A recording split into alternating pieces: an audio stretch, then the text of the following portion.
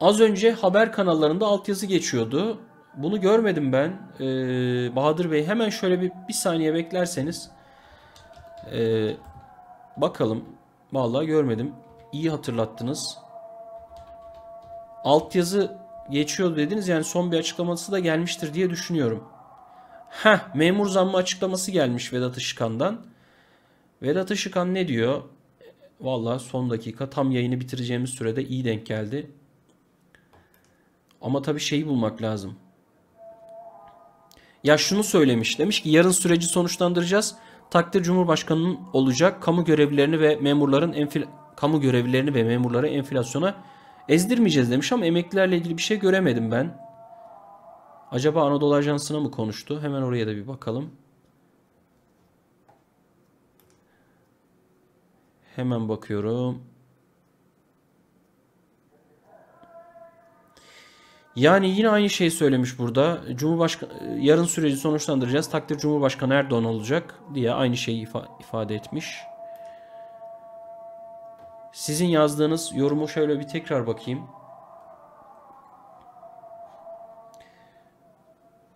Şöyle bir şey demişsiniz. Az önce haber kanallarında altyazı geçiyordu. Ee, memur ve emeklileri enflasyona ezdirmeyeceğiz. Yarınki zam oranlarıyla alakalı son sözü Erdoğan söyleyecek dedi. Ama işte bunu şeyle ilgili söylüyor Bahadır Bey ya. Yani bu memur ve memur emeklileri ile ilgili söylüyor diye anladım sizin yazınızdan. Şu an bulmaya ça- çalışıyorum. Bulduğum anda tekrar şöyle bir bakacağım ama çok fazla bir yerde görünmüyor.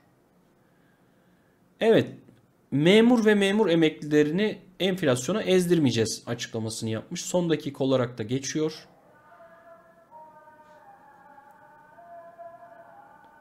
Yarın süreci sonuçlandıracağız. Takdir Cumhurbaşkanı Erdoğan'ın olacak. Kamu görevlileri ve memurları enflasyona ezdirmeyeceğiz diye bakanın son dakika tam böyle yayını bitirirken bitireceğimiz bir süreçte gelen açıklaması var. Peki şunu Peki şunu söylemeden de yani geçemiyorum değerli izleyenler. Hangi hangi enflasyon bu? Çok sık ifade ediliyor ya hangi enflasyon? Size sorayım yani. Siz siz yazın. Biraz son kısımda hani onun üzerine de konuşalım. Enflasyonu ezdirmeyeceğiz demek çok güzel bir şey. Doğru da bir açıklama ama hangi enflasyonu ezdirmeyeceksiniz mesela? TÜİK enflasyonuna mı yoksa gerçek enflasyona mı? Yani bunu da görmek lazım. Bu şu anlama geliyor. Eğer TÜİK'in enflasyonuna göre bir rakam verip bir zam verip bunun üzerinden bir şey götürürseniz diyebilirsiniz yani aa biz işte enflasyonu ezdirmedik. Yani TÜİK enflasyonuna göre ezdirmedik diyebilirsiniz. Ama e, bir yerde %50'lik enflasyon olay, e, oranı farazi konuşuyorum. Bir yerde %100'lük enflasyon oranı. E %50 verirsen zaten o da verilmiyor gerçi de. Hani enflasyona ezdirmedim diyebilirsin. Ama gerçek enflasyon bu mudur yani bakıldığında? Kaynak T24 demişsiniz. Yani o yüzden bu bu enflasyona ezdirmeyeceğiz meselesini duyunca ben çok şey hissetmiyorum yani.